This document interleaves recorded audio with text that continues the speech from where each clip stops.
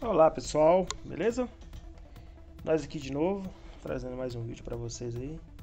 Aqui a gente está fazendo a colocação desse estatorzinho aqui, motorzinho do amor de piscina.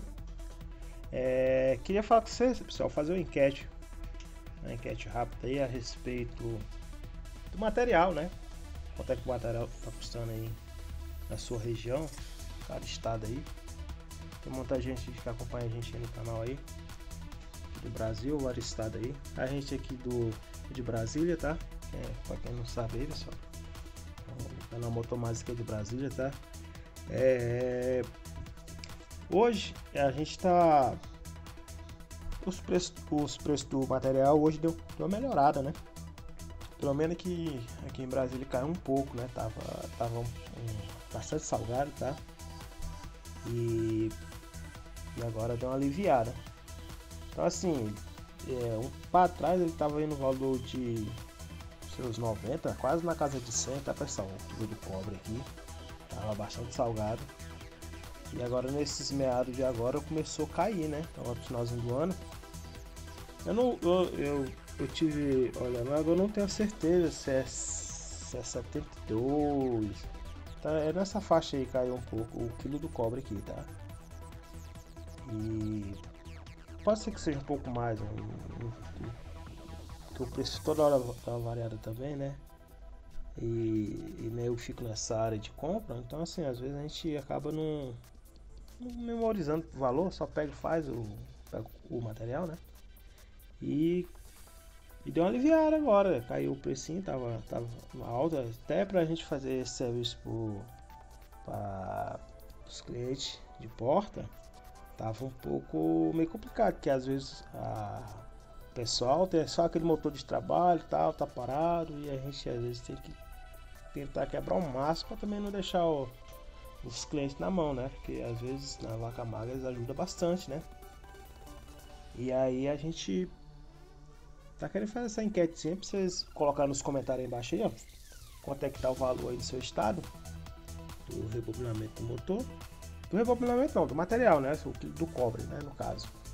Que aqui essa baixada, né? Aí o material também não tá tão, tão, tão, tão caro. Aí, às vezes o rolamento dá, um, dá uma, apertada, né? O rolamento dá uma subida, né?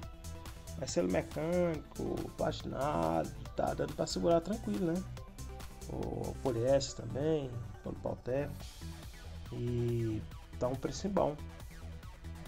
É, a única coisa meio que eu acho que também ficou um pouco salgado é o verniz. O verniz uma encarecida bastante, né? E, e aqui, sim, por que pareça, é, a gente consegue manter um preço bom. Não sei se é pelo poder aquisitivo do pessoal aqui que. Aqui querendo ou não que o, o fluxo de, de, equipamento é grande, então a pessoa é dependente daquilo ali. Então não pode ficar com aquilo parado. É, e, o, e a sucata? A sucata, a sucata aqui, pessoal, tá, tá em torno de 35 reais, 33, dependendo do pessoal que você vende, tá? É, às vezes quem paga um pouco melhor são aqueles que o pessoal que já pega o material direto da fábrica. Esse pessoal aí ele abate, né, a quantidade. E a sucata de vocês aí? Tá tá custando a quanto também? Coloca aí nos comentários. Aqui tá nessa faixa de 35, 33, variando de quem você for vender, tá? Mas tá bom o preço, tá tão ruim não, do cobre aqui, tá? Mas do cobre a sucata, tá? Do motor. Beleza, pessoal? É... Tá nessa faixa de 35, 33, tá? É, e tá bom, dá pra você repor um pouco a, a perda do, do valor no material para rebobinar, é, você abatendo na sucata, né? No caso. Você é, pega a sucata e aí abate o valor. E, e a gente consegue aí segurar o valor né, mais em conta para o cliente.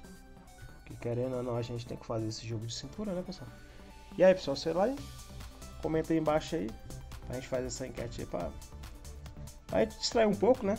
Que é só, só rebobinamento de motor, né? Ah, tá, passa tal. E agora a gente coloca isso aí, beleza, pessoal? E se não é inscrito, se inscreva no canal. E futuramente vai estar trazendo mais vídeo para vocês aí, tá pessoal? E até o próximo vídeo. Comenta aí embaixo aí.